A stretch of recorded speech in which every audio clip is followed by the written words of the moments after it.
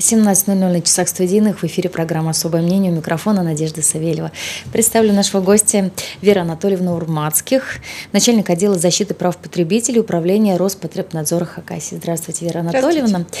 Мы пару месяцев назад уже встречались в этой студии. Вот, много чего полезного, интересного обсуждали. И для наших телезрителей и радиослушателей расскажу, о чем будем беседовать в ближайший час. Также можете звонить к нам, потому что это прямой эфир 22 60 11. Сегодня поговорим о туристических услугах, э, в том числе на что обращать внимание при заключении договора, можно ли отказаться вообще от путевки, в какой момент и то есть по какой причине, также как вернуть деньги, даже если э, турфирма отказывается, тоже об этом поговорим. Поговорим об обращениях, которые поступают в Роспотребнадзор, э, с чем можно обратиться, также узнаете о том, что есть судебная защита бесплатная со стороны, э, то есть Роспотребнадзор может предоставлять а, своих юристов, которые с вами могут выйти в суд. Это все совершенно бесплатно. Не все об этом знают, кстати.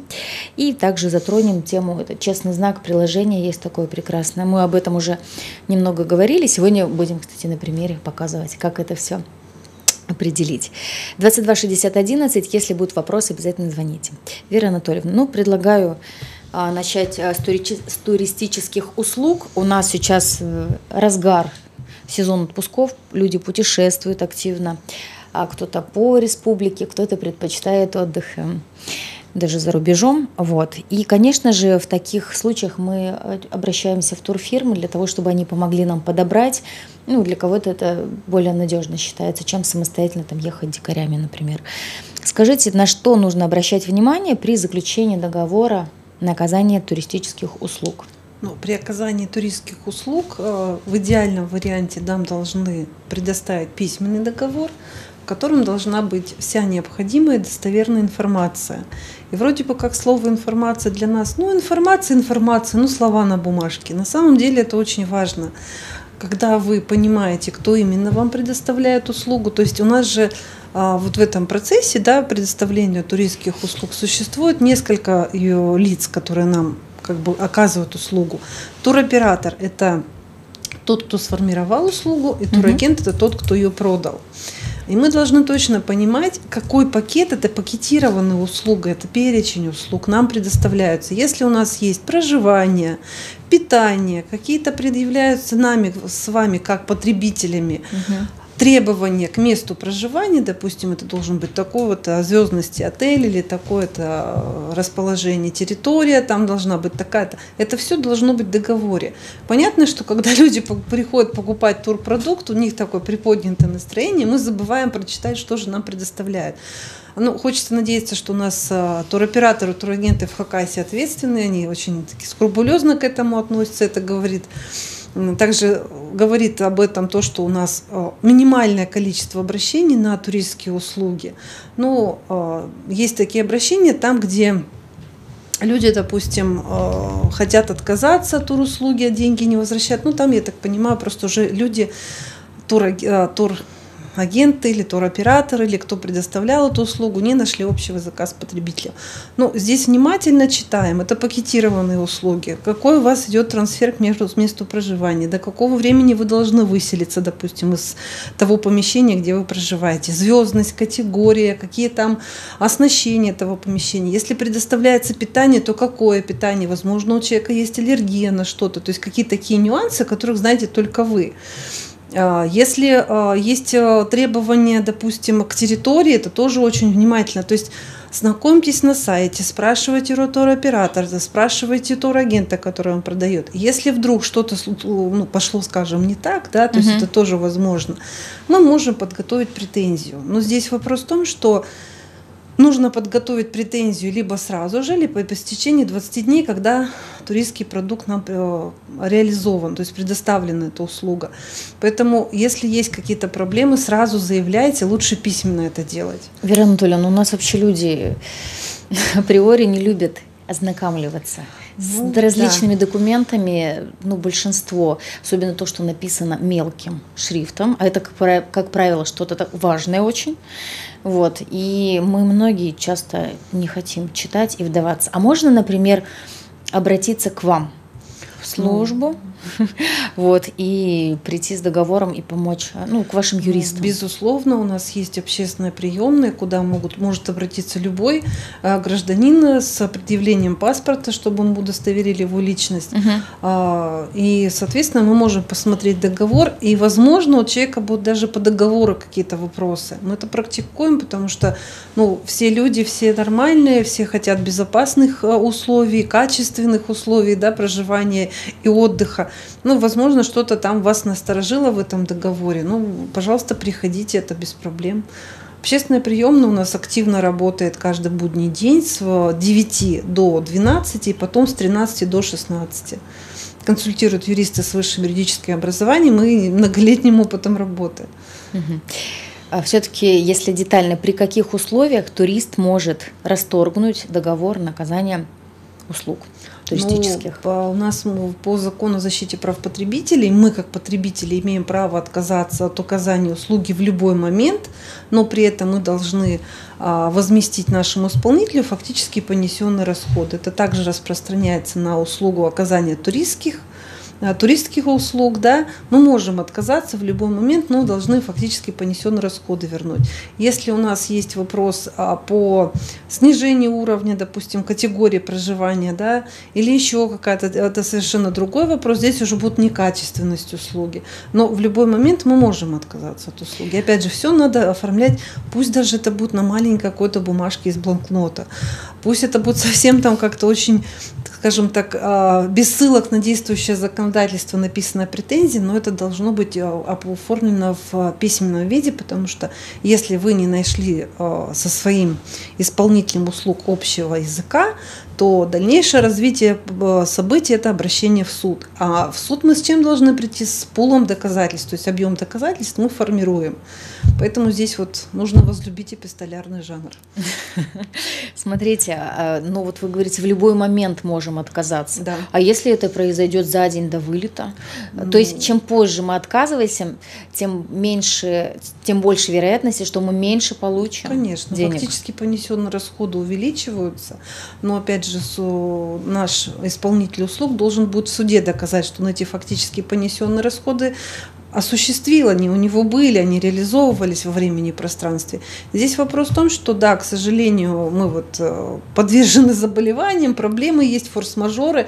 В этом случае мы ставим в известность э, авиакомпанию, допустим, если вы покупали билет отдельно, своего туроператора, тур, турагента, то есть с кем вы заключали договор, и прикладываете документы, свидетельствующие, что, ну не дай бог, конечно, вот попали в больницу и сейчас не можете осуществить этот перелет, и вот не можете реализовать свой продукт. Вы можете перенести перенести время. То есть все обговаривается и все можно а, решить переговорным путем. Даже если это не зависящая от нас причина, например, Конечно. проблемы со здоровьем, то все равно мы получим не в полном объеме, а лишь вот ну, ту Нет, часть, в этом которая... случае это или от этого зависит, смотря от какая этого, причина. Да, смотря какая причина, потому угу. что если мы у нас проблемы со здоровьем, это форс-мажорное обстоятельство. То есть можно в полном объеме да, тогда получить, да, ну вот я так да. То есть в этом случае вы как бы доказываете, что вы от, по независящим от вам с причинам. И могу сразу сказать, что уважающие себя хозяйствующие субъекты предоставят возможность, допустим, потребителю через какое-то время воспользоваться этой услугой. Это чаще всего так происходит, поэтому у нас даже таких обращений обращений нет, когда вот э, по болезни человек э, просто не смог сдвигается, поехать, да, да, да вот сдвигают время и все в дальнейшем как бы. Ну в этот же сезон, Конечно, да, имеется да. в виду. Могут в этот же сезон предоставить, могут чуть попозже, то есть это по-разному происходит, ну но это происходит. Угу. Ну, то есть вот э, одна из причин проблемы со здоровьем. Угу. Если мы просто передумали, то тогда там, наверное... Ну, тогда мы будем фактически понесенные расходы. Там может выйти так, что вообще практически ничего не получим. Конечно, ну потому что... Это уже наше Конечно, желание. это уже как бы наше желание, наши... Вот, наши проблемы. Да, скажем так, наши проблемы, потому что хозяйствующий субъект также осуществляет деятельность в целях извлечения прибыли. И он несет фактически понесенные расходы. Единственное, что что он должен будет их доказать.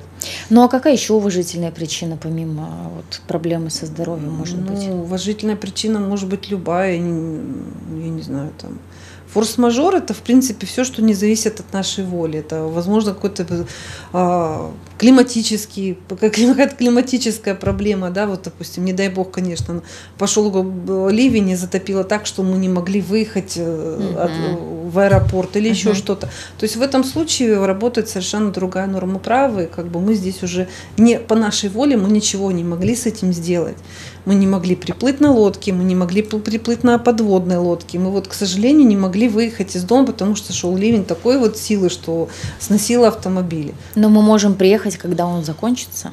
Конечно, да, это нам просто там да. на несколько дней, например, перенесут да, эту да. поездку. Но мы в этом случае все в любом э, случае должны связаться с нашим исполнителем услуги, поставить в известность, что вот такая ситуация произошла, по независящим от нас обстоятельствам я не смог приступить э, ну, отдыху тогда, когда планировал. Я так понимаю, здесь тоже важен какой-то фото, видео, отчет. Надо конечно, все вовремя снять, конечно, зафотографировать, да, чтобы было понятно. Да. То есть у нас всегда под руками мобильные телефоны. Да. Это у нас самая лучшая такая конечно, форма конечно. запечатлеть доказательства, да, да? да? У нас тем более есть э, факты, которые являются общедоступными. Допустим, те же климатические какие-то изменения, климатические проблемы есть у нас. Официальные сайты с э, погодой, да, и будет э, очень достаточно просто обратиться даже вот к этой информации, что вот, да, в этом месте в это время была такая-то проблема, вот я не мог выйти там из-за ураганного ветра, допустим.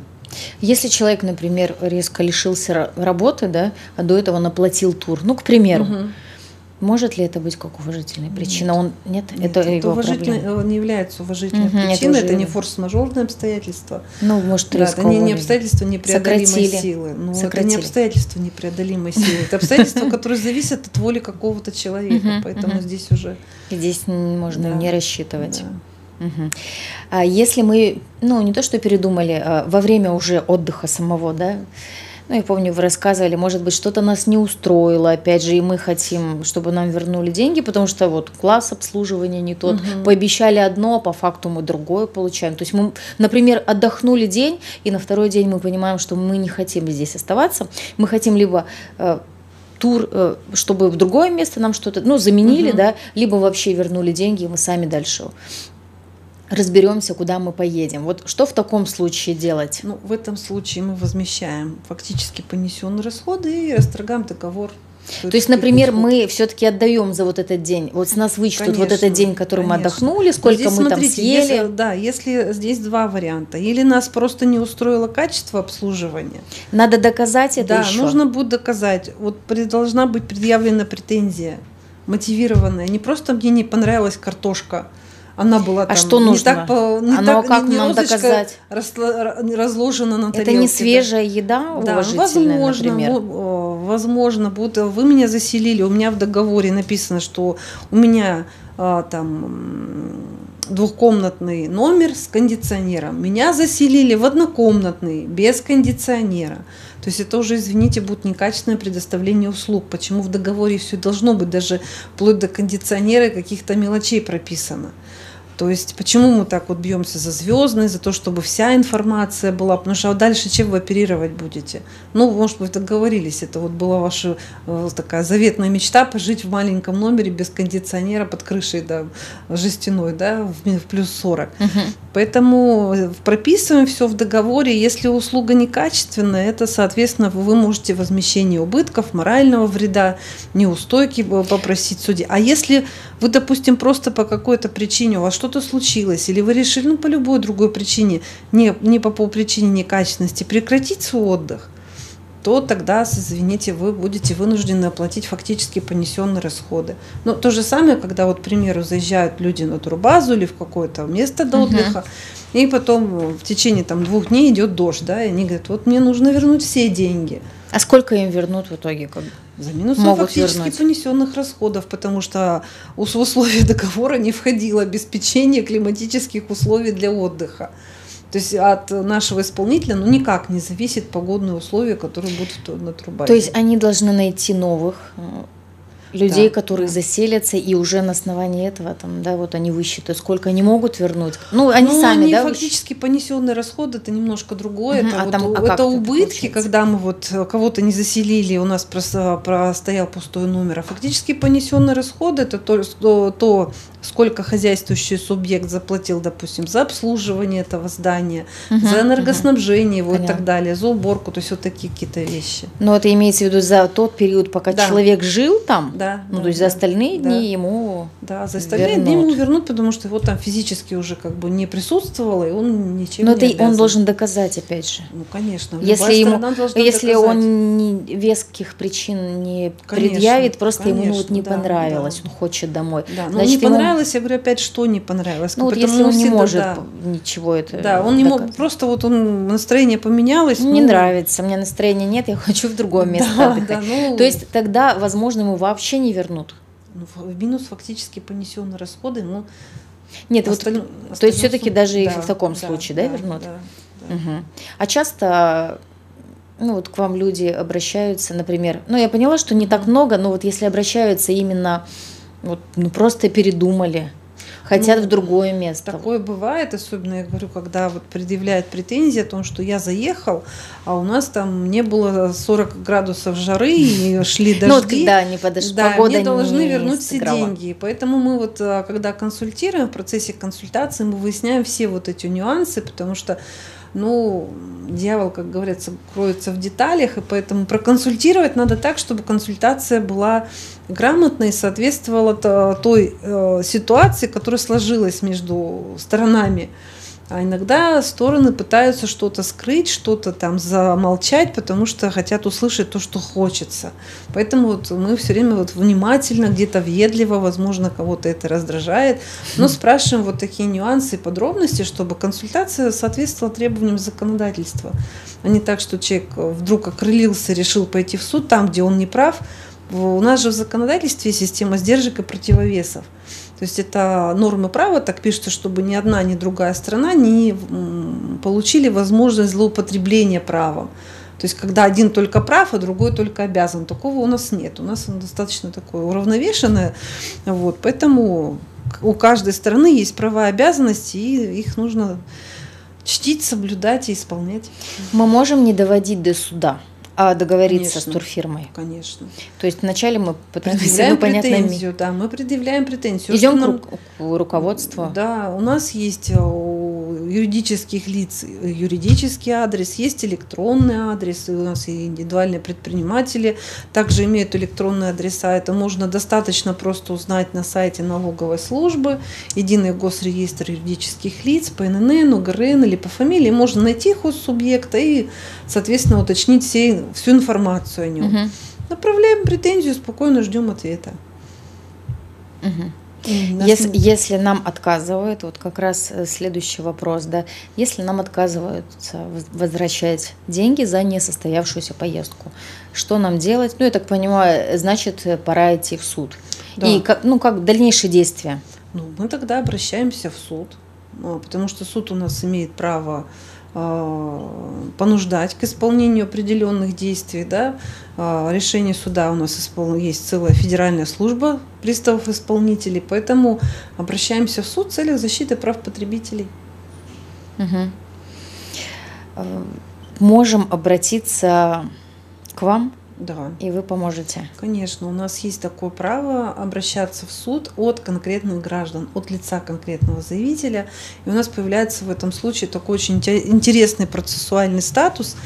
Это называется мы в этом случае процессуальный истец а, наш физическое лицо, заявитель процессуальный, э, материальный истец. То есть угу. вот вроде бы истец, но у одного процессу, процедура, а другой материальный. Вот как бы деньги все присуждаются у нас материальному лицу, процессуальный получает моральное удовлетворение. Угу. Вот. Мы выходим в суд с человеком, мы выступаем в качестве юристов. Единственное, что мы не имеем права заключать мировое соглашение в этом случае. А так мы заявляем ходатайство, отводы, а, дополнительные какие-то такие доказательства можем предъявлять, выступать в процессе, задавать вопросы всем участникам процесса. То есть полным, полным объемом процессуальных прав мы пользуемся и очень много ходим в такие процессы на самом деле.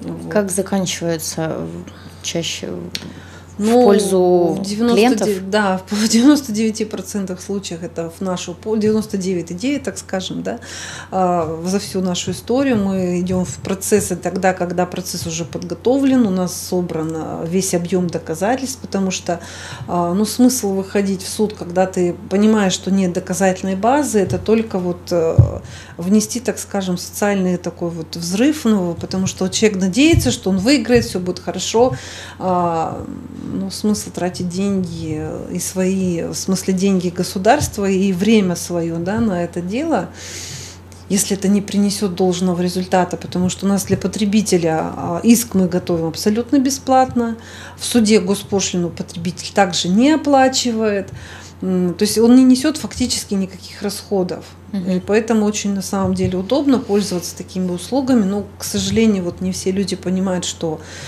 мы, мы как потребители не всегда правы, у нас есть еще обязанности, поэтому некоторые настаивают, вы должны обязаны подать в суд. Ну, во-первых, это наше право, во-вторых, мы подаем в суд тогда, когда действительно потребители получат свои денежные средства.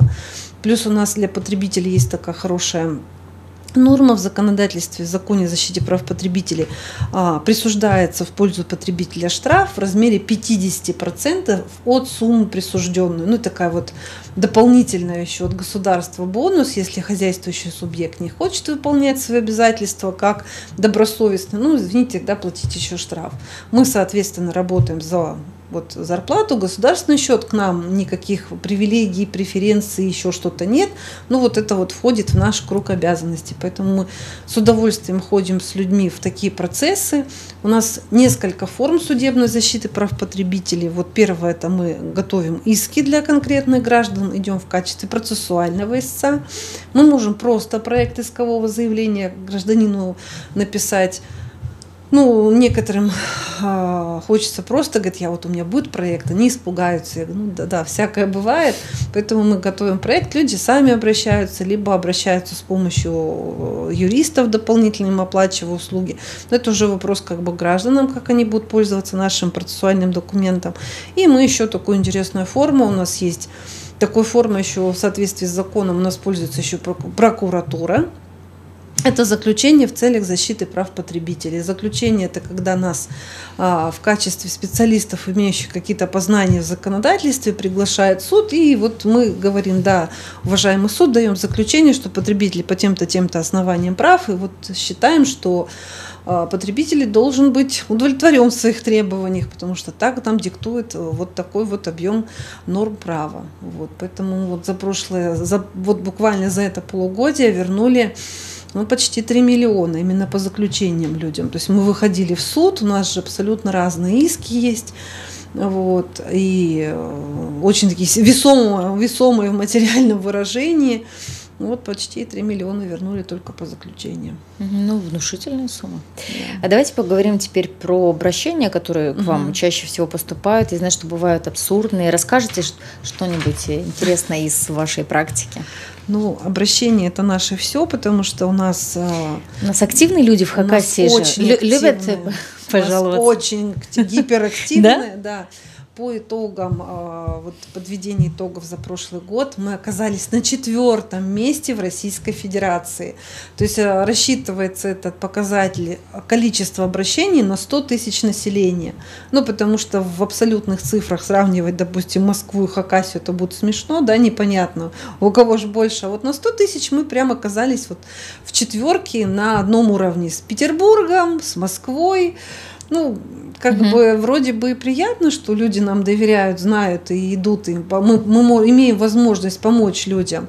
А с другой стороны, здесь а, вопрос в том, что ну, не всегда к нам по подведомственности обращаются. И здесь не вопрос э, стоит в том, чтобы человек получил ответ на тот вопрос, который ему нужен, потому что в соответствии с законом о порядке рассмотрения обращений граждан мы обязаны прислать письмо или э, заявление, которое к нам поступило, в котором содержатся вопросы неподведомственные нам, по подведомственности, то, то есть тот госорган, который этим занимается. И это вот существенно увеличивает срок ожидания ответа для человека, и его вопрос-то не решается на самом деле. То есть у нас 7 дней мы передали, Ну, это 7 дней, это рабочая неделя, а вопрос-то хочется решить сегодня и сейчас, поэтому, ну вот, к сожалению, у нас э, такое вот еще есть. Она в рамках общественной приемной, когда к нам поступает обращение, мы, естественно, консультируем, объясняем, рассказываем. Кто-то слышит, кто-то не считает нужным слышать, говорит, вы правьте куда надо, я вот больше заморачиваться не буду.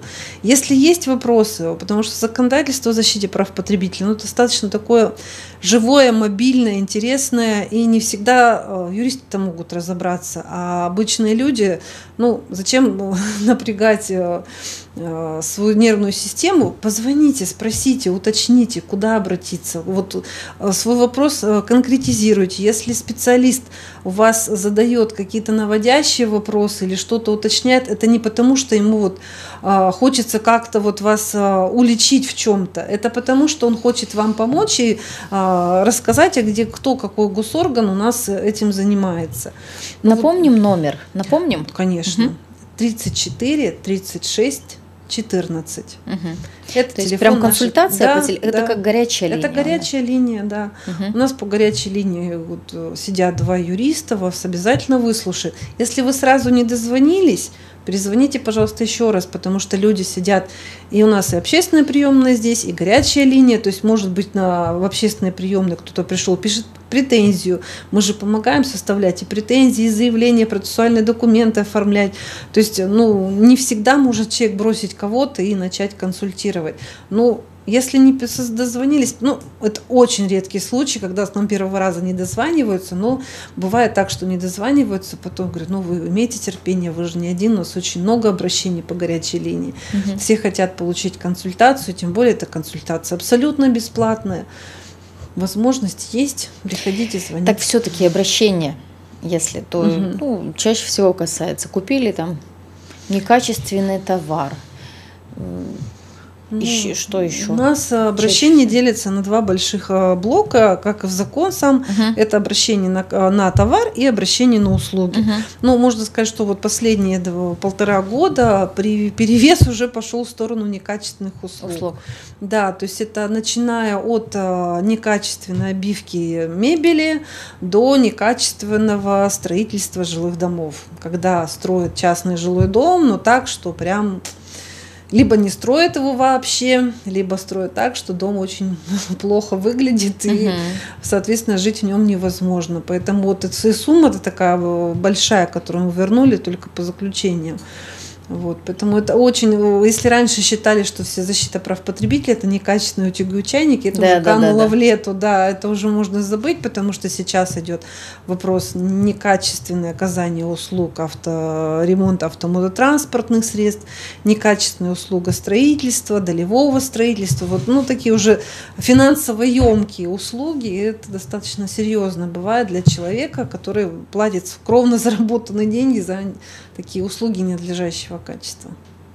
Ну, чаще всего люди э, с обоснованными такими да, обращаются да, с жалобами. Да, да? люди обращаются с обоснованными, но у нас, э, так как э, заявление содержит много фактов, мы должны ответить на каждый поставленный заявителем вопрос, у нас очень много идет перенаправления по подведомственности. Я говорю, что вот, пожалуйста, угу. внимательно смотрите, куда вы направляете обращение. Если, ну, проще всего, конечно, обращение направлять через госуслуги сидя дома. То есть э, к вам можно Конечно, отправить? А, да. что, а как там? Вот я, например, первый там раз есть слышу, раздел что обращений. Угу. Через госуслуги у вас придет уже авторизированное обращение, то есть это обращение, где вы э, о себе заявили как о существующем, физически существующем да, человеке, да. вы существуете, вы э, как бы есть. Там ничего, да, это своих данных аноним, заполнять не надо, да, все это уже. Это не аноним какой-то там неизвестный и так далее. И мы, соответственно, начинаем уже рассматривать, потому что если поступило к нам анонимное обращение, мы его не рассматриваем, если у нас не авторизированное, мы вынуждены будем к вам направить запрос, что, пожалуйста, угу.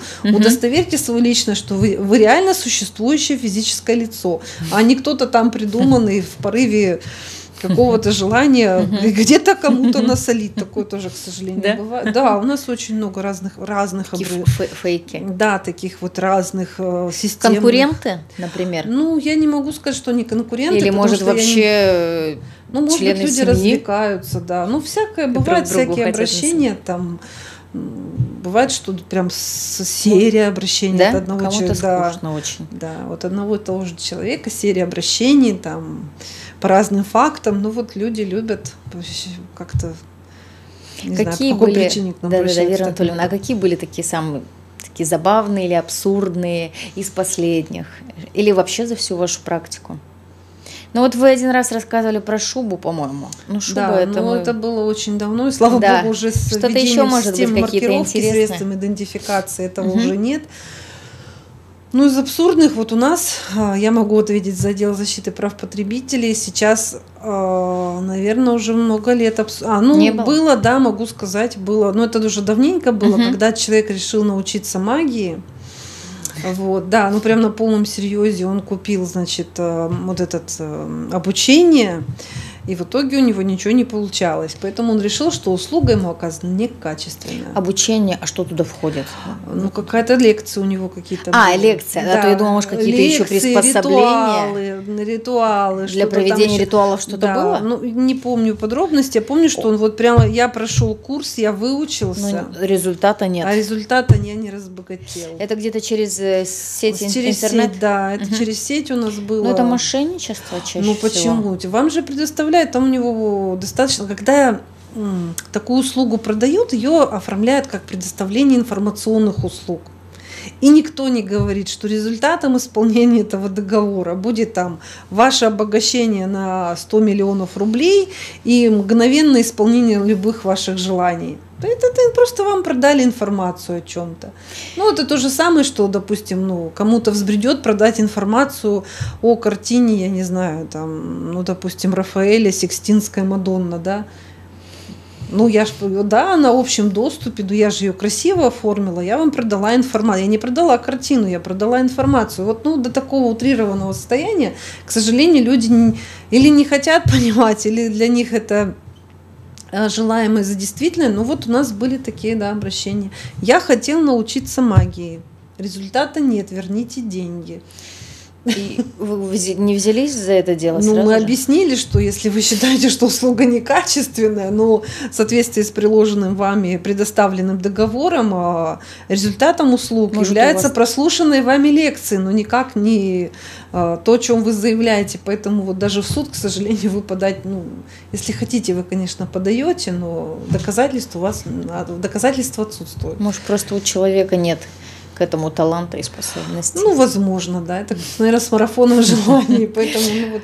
Но если, ну, что-то еще, может быть, из Ну, вот это вот последнее ничего. было, да. да. Сейчас вот у нас такие это обращения, которые э, реально, да, да, ну, да, там, где реально есть нарушение прав потребителей, там, где есть возможность обращения в суд, целях защиты прав потребителя для нас это очень важно, потому что ну, такой чисто профессиональная гордость, когда ты помог человеку поставить, скажем так, на место и логическая цепочка э, исполнения договора, она пошла дальше, ты понимаешь, что это вот как ну, это как на производстве, ты видишь результат своего труда, это так здорово, это мотивирует дальше работать. Скажите, надолго затягиваются судебные дела?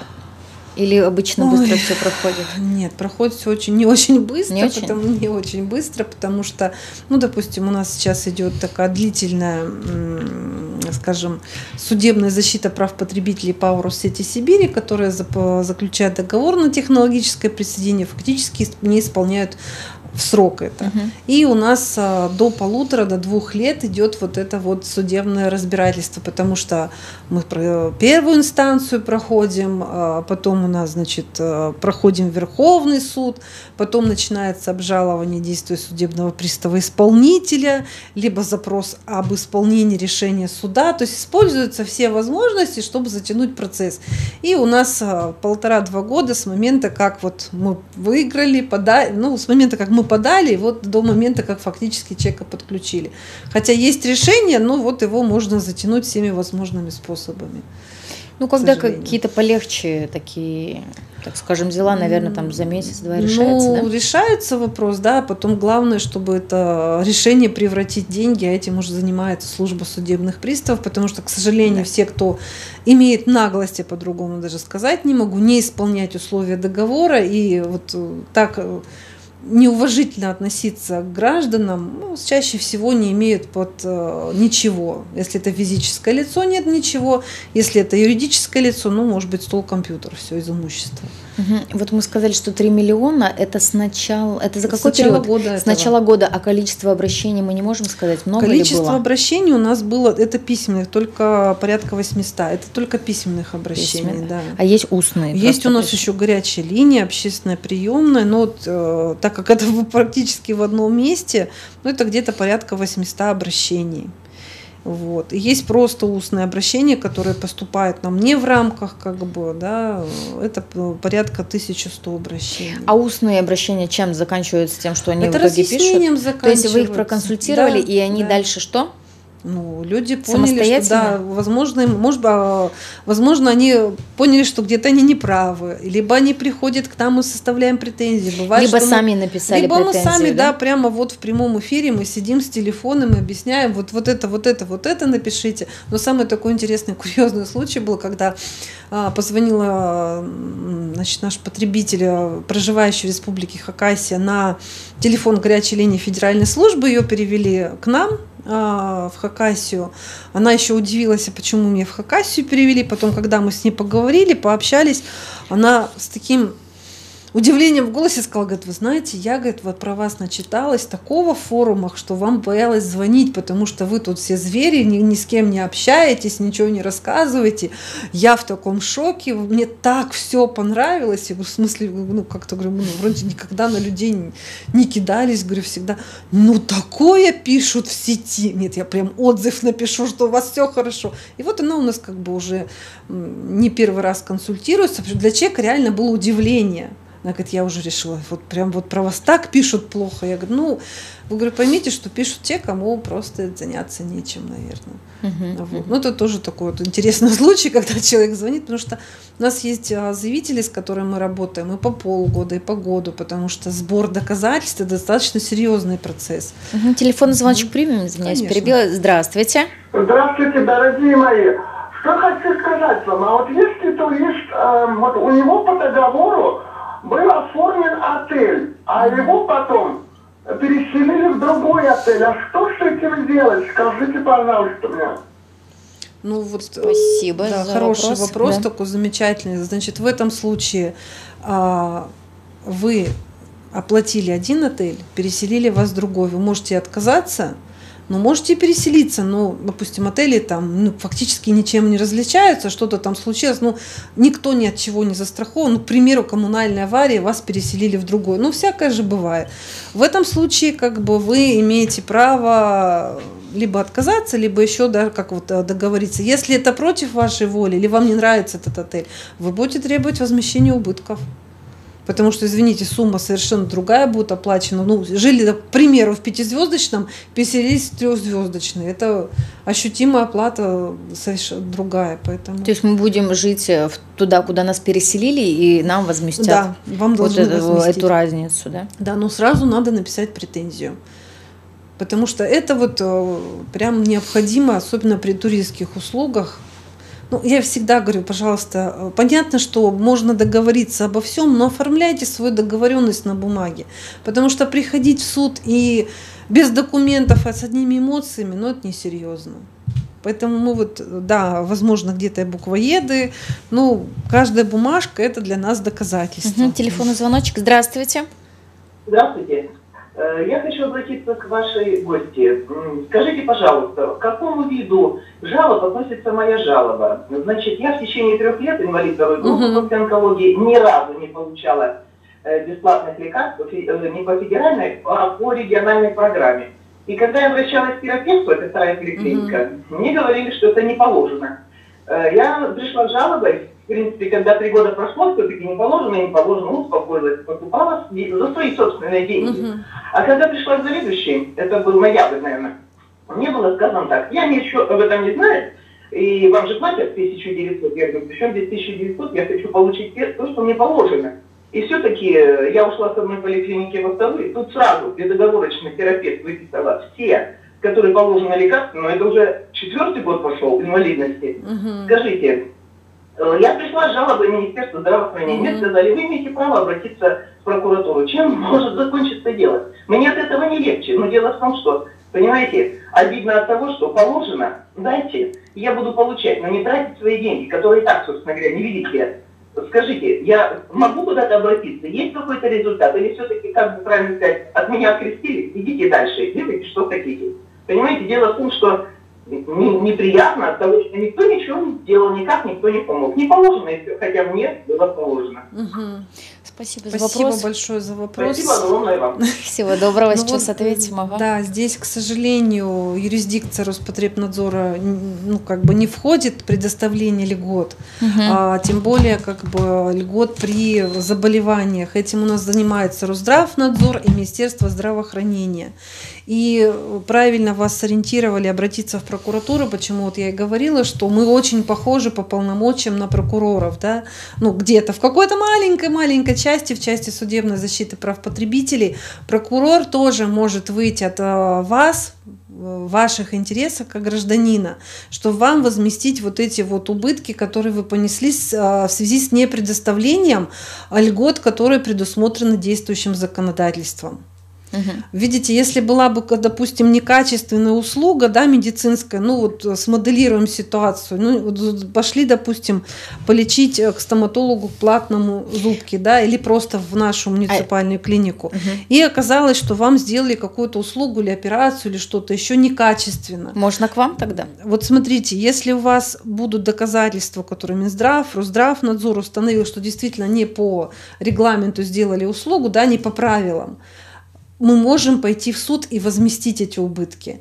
Здесь другая история. Здесь человек не потреблял услугу, это были льготы и преимущества, которые даны государством действующим законодательством. И у нас за этим на- на- надзор осуществляет прокуратура. У нас очень, э, ну, по себе могу сказать, потому что общаемся и работаем, и много запросов отвечаем. Э, Надзор, у них есть отдел в республиканской прокуратуре, отдел по надзору за федеральным законодательством, поэтому обратитесь, пожалуйста. Я думаю, что вам помогут. Потому что ну, ситуация такая, если бы была вот э, некачественная медицинская услуга, мы бы с удовольствием взялись и помогли.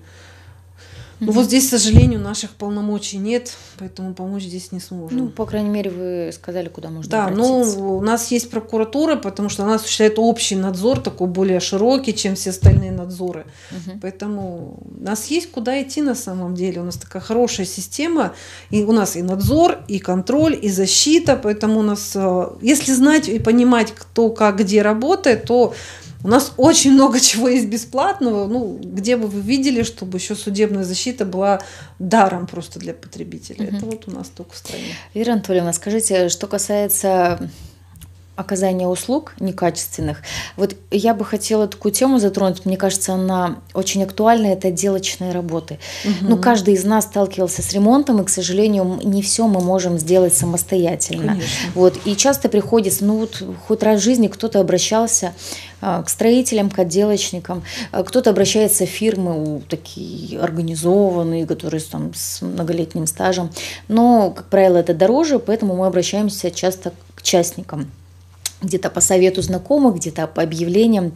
И очень часто у нас вот э, граждане любят обмануть. Вот смотрите, если мы обращаемся к частным, ну так случилось, Мгм. мы можем какие-то рекомендации, советы дать, как мы можем себя обезопасить?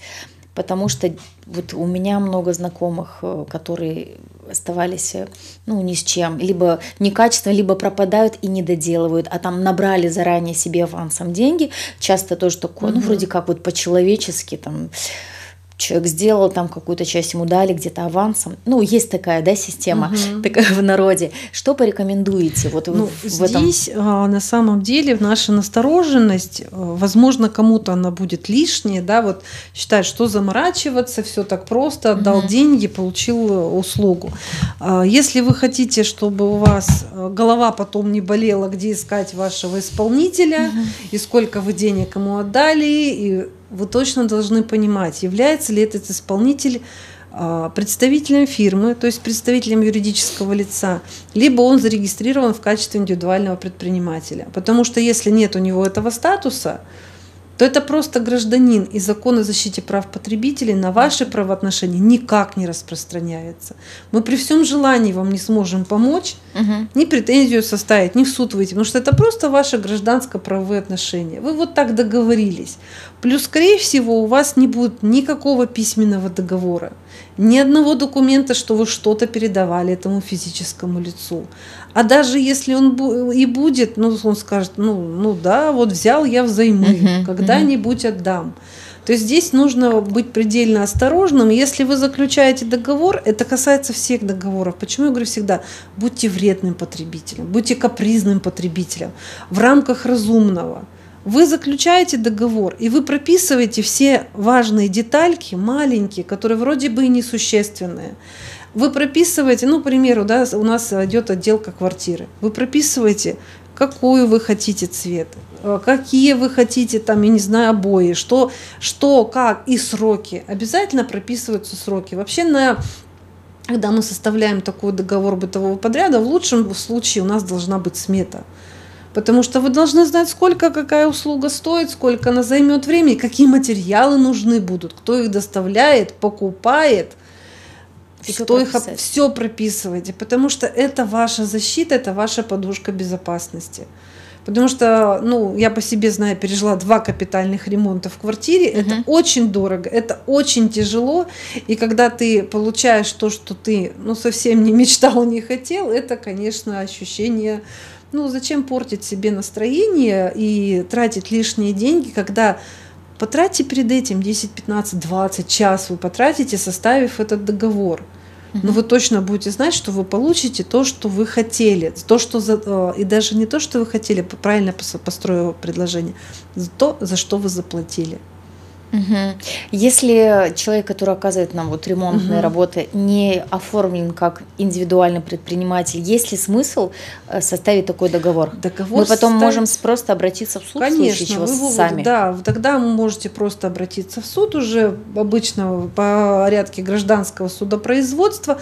Но здесь опять же вопрос. Всегда нужно понимать, что суд-то можно выиграть, да, и доказательств предоставить тонну. Вопрос в том, чтобы потом судебное решение реализовать в денежной э, в эквиваленте. Возможно, у этого человека ничего нет. Mm. Официального дохода у него нет, с которого будет производиться yeah. взыскание. Недвижимости у него нет. У него нет ничего. И приставы-исполнители будут годами направлять различные запросы, выполнять свою работу, но денег-то они вам не взыщут. То есть здесь, ну я говорю, это вот просто риск-ориентированная модель мышления, когда ты понимаешь, что если ты сделаешь вот это, то получишь, возможно, такой результат. Поэтому ну, здесь э, вопрос в том, как люди сами распоряжаются своим временем, деньгами и моральными э, своими возможностями. Ну, хочется человеку рисковать и отдать там аванс 5, 10, 50 тысяч какому-то хорошо говорящему гражданину. Mm-hmm. Ну, пожалуйста, да, возможно, эти деньги лишние для для нас были. То есть, как минимум, человек должен, как индивидуальный предприниматель, Конечно. тогда уже мы можем, если что, обратиться Конечно. к вам. Да, тогда в этом случае у нас есть индивидуальный предприниматель, у нас есть договор, мы в этом случае можем пойти в суд. Соответственно, и деньги у него официальные. Ну, это тоже, не, это тоже большой вопрос, если у него официальные быть. деньги, да. У нас бывает такое, что он зарегистрирован как юрлицо, ИП, а дело доходит до решения, а денег по факту нет. И вот, э, ну да ну, к сожалению, вот мы ни от чего не застрахованы, но есть вопрос, у нас сейчас такой чудесный э, интернет, да, где он все помнит и все знает, и ну, можно посмотреть про, фактически про любого исполнителя отзывы. Ну, не первый, допустим, год на рынке, но зайдите, посмотрите, узнайте. Если нет в интернете, узнайте у знакомых, где и у кого этот человек работал. То есть здесь просто вопрос настороженности. Мы же не будем брать в магазине просроченный молочный продукт, правильно? Мы же его пять раз почитаем а он стоит десятки раз, а может и сотни дешевле, чем наши ремонты, даже косметические. Да, очень дорого. Да. Ну, я думаю, что информация была полезная, что касается ремонта тоже. Теперь у нас остается меньше 10 минут. Угу. Давайте поговорим про честный знак. Вот, мы уже затрагивали эту тему, и неспроста у нас на столе стоит бутылка с водой. Да, и крышечка еще дополнительная. Да, сейчас мы будем прям наглядно показывать, как, как да, ну, определять ну, качественность товара с помощью такого, ну как это, программа? Программа или, программа «Честный знак». знак», да. Устанавливается приложение в телефоне, да? Да. Вот, Ну, давайте далее- я объясню, для чего нужен вообще честный знак. Вот в две минутки для того, чтобы Мгм. наши потребители заинтересовались на самом деле. Вопрос в том, что мы, когда, еще раз говорю, мы всегда голосуем рублем. И когда я преподаю в институте, я вот э, детям предлагаю, детям, да, взрослым детям предлагаю такую э, игру, говорю, хорошо, мы за, э, занимаемся с вами по теме защиты прав потребителей, у нас курс по выбору, но потребить можно все что угодно, продукт, услугу и в том числе жизнь. Вот давайте распишем, чего ты хочешь в жизни, где ты сейчас находишься, вот этот график. Мгм. От 0, там, допустим, до 80, я говорю, я вот нахожусь вот тут в середине. А ты вот, говорю, вот еще до меня вот тут. Я говорю, а что ты вот в этой жизни уже потребил? Боже, это просто такая вот шок. А я уже здесь, а мне вот чуть-чуть, а я же ничего не сделал. Я говорю, вот. И также вот в остальном, когда ты тратишь деньги, ты должен понимать, что сейчас ты находишься вот в этой точке, и ты должен приложить все усилия, чтобы получить максимум от этого времени и места, где ты находишься. То же самое с честным знаком. По- У нас в самом честном знаке порядка 9 и больше сейчас а, товаров, которые промаркированы средством идентификации. Средство идентификации это вот такая дата матрикс код. Да, ну, да, да. QR-коды все с ковидом узнали, что это такое, ни для кого не секрет. Наведя, вот выглядит честный знак приложения вот так, Желтенько. желтенькое, да, вот оно для потребителей. Мы его наводим и считываем информацию вот сканером, никаких проблем. Мгм. Вот. И мы понимаем, а, что это за товар, где его произвели, находится ли он легально в обороте. Потому что а, вот у нас сегодня был семинар по тому, что а, сама система позволяет выявить товар, который находится в обороте нелегально. А что такое нелегально? Это такой красивый юридический термин. Если переводить на наш обычный человеческий, ну, скажем так, домашний язык, это товар, который потенциально небезопасен для нас. А У нас э, мы фиксируем, мы работаем в этой системе честный знак, мы фиксируем нарушения, которые там есть. У нас продают сигареты, которые э, больше или меньше максимальной, минимальной установленной розничной цены. У нас э, фиксируются повторные продажи, когда одну и ту же пачку, допустим, воды, духов или то, то- той же табачной продукции продают по 5, по 10, по 50 раз. Вера Анатольевна, можно перебью? Кто Да. клеит вот этот вот дата матрикс? Это производитель делает. Производитель. Это делает производитель, да. Это уникальная штука. То Это есть им, э, у них есть к этому доступ? им- Доступ, да, Потому да, что да. товар прошел проверку, да? Конечно, И да, вот они... да. Просто так это не, не возьмешь. Просто так это не возьмешь. И сейчас у нас вводится а, такая вот пока это в пилотном проекте, но к концу года, возможно, или к концу следующего года будет, у нас будет еще и безопасность товара отслеживаться. То есть каждому товару будет прикреплена документ в электронном виде, который говорит, что товар качественный и безопасный. А мы можем сейчас, вот, вот можете показать, э, отс- ну как, отсканировать дата матрикс, и что, вот что будет написано? Можно сейчас это в прямом Ну, эфире? вот если- Но мы не будем показывать, кто там производитель, да, чтобы не Да. рекламировать воду. А, Вот, просто хочется посмотреть прямо сейчас в прямом эфире. Посмо- Ну, вот. Посмотрим. И я ни разу просто не пользуюсь. Я устанавливала себе это приложение, но что-то пошло не так. Не хочет, да, здесь М-м, ловить? Мгм. Интернета нет. То есть, Ну, по на- сути, сканируем, моментально идет Да, информация. идет То есть информация, от город, да, да, например, да. производитель. Вплоть до того, кто, когда, где произвел, когда сняли с реализации, Да? вот эти две бутылки будут уже сняты с реализации. Да. То есть ты можешь проследить, ты видишь То есть конкретная бутылка. Конечно, прям конкретная бутылка, Не дата просто матрикса не серия, повтор- Да, вот, самое интересное, вся вот эта система закольцована а, со всеми ККМками в Российской Федерации. Все контрольно-кассовые машины, они завязаны с этой системой. О, У нас а, сейчас идет а, был пилотный проект, участвовало несколько субъектов, несколько десятков.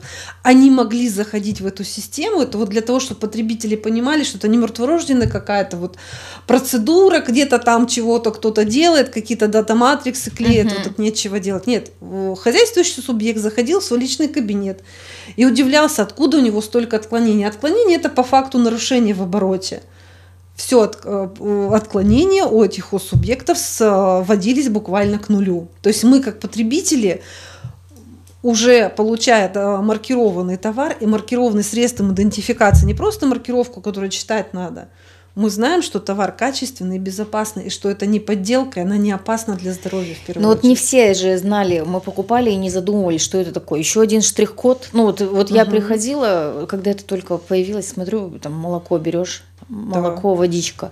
Думаю, вот же штрих-код, это что вообще такое на крышке? То есть мы даже не знали и не Да. вникали. Вот от, Вот от сейчас вас, у нас тоже и будет, узнали, что она это уже дата идет, Матрикс. а, тоже пилотный проект, по, и, возможно, к концу года он будет уже реализован, когда сама система будет блокировать просроченный товар. И в первую очередь это будет молочная продукция. На кассе. Да. То есть да, вот- да. А, Ты это пришел, прям по кассе проводишь, а тебе говорят, извините, Мы не продать можем. не, сможем, Да? про- просрочка, да. То есть, Хорошая, полезная Ну да, вещь. как бы она такая достаточно серьезная вещь. У нас немного до окончания эфира. Какие, кроме воды, сигарет, что еще можно А, проверить? Давайте Можно расскажем. еще проверить меховые изделия, обувь, проду- э, продукцию легкой промышленности, пиво, вода для детей. сейчас, сейчас, сейчас, вспомню. Так, коля, э, эти э, антисептики, лекарства, вот это тоже Лека- очень То есть важно. во все, э, все лекарства или Да, не все? да, То есть у нас все, в аптеках да, имеют, все да, лекарства Data имеют Matrix. Но, к Да? сожалению, не мы осуществляем за этим надзор, но у нас порядка 16 госорганов в системе вот работают, честный знак. Скоро по лекционным материалам у нас МВД будет обладать этой информацией, поэтому вопрос в том, что система показывает весь оборот, и в том числе э, никотин содержащая продукция. То есть это то, что вейпы, жижа в простонародье, да, это электронные сигареты, они тоже маркируются, это все прозрачно. То есть мы идем вот такой максимальной прозрачности э, вообще вот этого всего. Ну, для меня, допустим, очень отрадно, что молоко и молочные продукции, как такое наиболее биологически опасная э, для меня, как для потребителя продукция, она вот, возможно, скоро будет блокироваться прямо на кассе. То есть у нас э, будет меньше проблем, будет меньше у потребителей обращений, меньше возможность получить каких-то проблем со здоровьем и, соответственно, э, то есть когда анализируют, где, как и почему проходят эти сбои в программе, субъекты достаточно интересную информацию получают. Смотрите, если мы пробили по Мгм. про- программе, что это не Мгм. качество... А подождите, мы не можем пробить. У него просто не будет тогда Data Да, у него просто не будет этого А может, ну, дата-матрикса. подделки не может оказаться? Почему? Может, оно тогда, дата-матрикс. тогда система, да, просто говорит, что данного товара нет, а, нет, не маркирован. Вот. Ну, то есть это, товар. Его- например, производитель решил Да, схитрить да, и сделал да, якобы да, Data да. Matrix. И вы Вот. можете направить нам обращение Вот, тут же. в том случае, если Да. э, э, товара этого не существует, Да, мы к вам да, да. обращение Вот тут же в какое? системе, В этой тут же же в системе, да, нам предлагает направить обращение, вы формируете вы Заявочка, обращение, да? то есть вы должны указать фамилию, имя, отчество, электронный адрес, телефон, там, возможно, свои паспортные данные. И к нам вот пишите в такой-то торговой точке, по такому-то адресу, такой-то товар, фотографии прикладывайте. И что дальше? Мы это Навернуть видим. деньги? А, естественно, а мы, мы а, видим это обращение, а, начинаем мероприятие по надзору, ну и хозсубъект. Ну, соответственно, их должны наказать. Ну, естественно, у нас это пока у нас идут предостережения, то есть мы проводим мероприятия по надзору, и поэтому там уже а, как дальше развернутся события, что мы там еще увидим в этой системе честный знак. Возможно, мы будем и передавать в правоохранительные органы информацию. Но вот за истекшие полугода по тем а, наблюдениям, которые мы осуществляем в этой программе, мы выявили порядка 16 тысяч нарушений, мы передали все в МВД. У нас э, эфирное время, к сожалению, подходит к завершению. Вот, как всегда, хочется много о чем поговорить. Ну, в принципе, мы много чего обсудили.